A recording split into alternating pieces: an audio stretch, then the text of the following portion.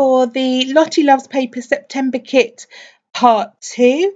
And in part one, I went through the embellishment kit and the paper and embellishment add-ons.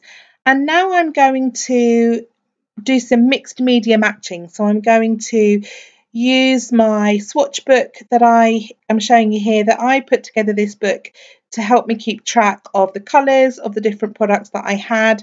I found myself buying duplicates because I kept forgetting and it also helps to match colours to papers when I'm looking at using mixed media products on my layouts.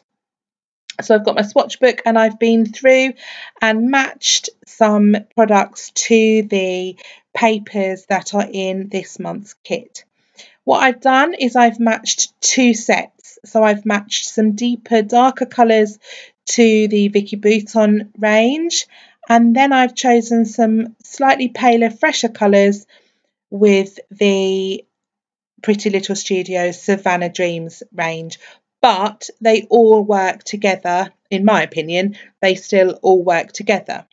So I could mix and match the sets that I've chosen and use either um, of the colour sets with either of the papers.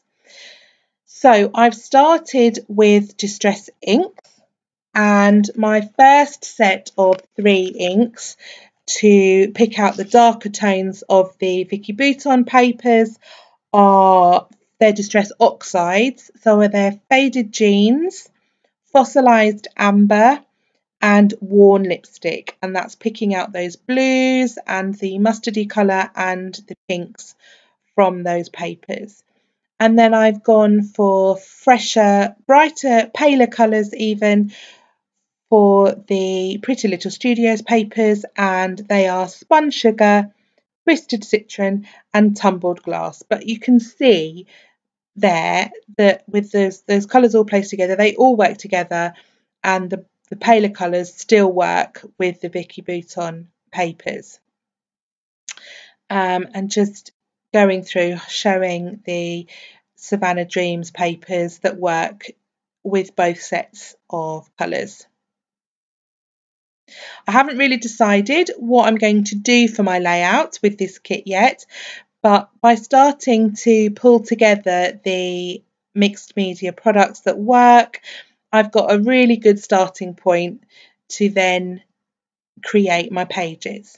And of course, we've got those beautiful stencils in the um, embellishment kit. So um, they're just perfect to use um, with these products. So here I've got um, some spray inks. So the first set of three, I've got Dylusions Pure Sunshine, Dylusions Dirty Martini is the green, and then a Heidi Swapp Raspberry because I didn't have a Dylusions that um, was I wanted a pinky tone um, and I didn't have a Dylusions one. It was too bright bubblegum pink. So went for the raspberry from Heidi Swapp. And then some slightly paler shades. I've gone for Heidi Swapp Pink, Teal and Butter. And I think hold them up the ends there, you can see the colours beautifully there. and again coordinating with those paper ranges really well.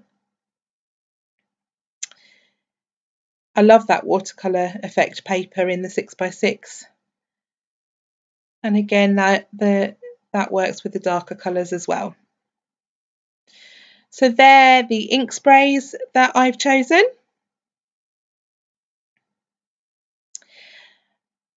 And now I chose some gelatos, starting off with these bright, bold primary colours in green tea, red cherry and blueberry.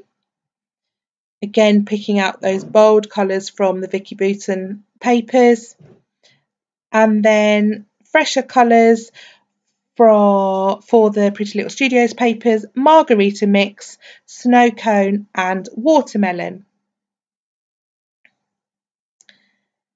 Again, working well with both sets of colours. So they're the gelatos. And finally, I picked out some Nuvo drops, which have to be one of my favourite products ever. Changed my mind about the green at the last minute there. And I have picked out Autumn Red, English Mustard, and Bottle Green.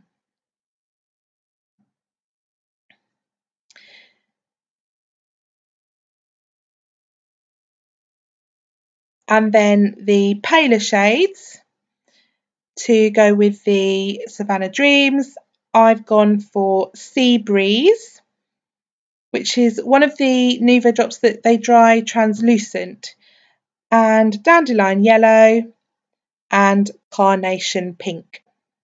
So they're the mixed media products that I've chosen that coordinate with my papers. I hope you find that helpful. Please leave me a comment if there's anything else that you would find helpful um, to look at with the embellishment kits and I hope to see you here very soon to show you the layouts that I create with all these lovely goodies.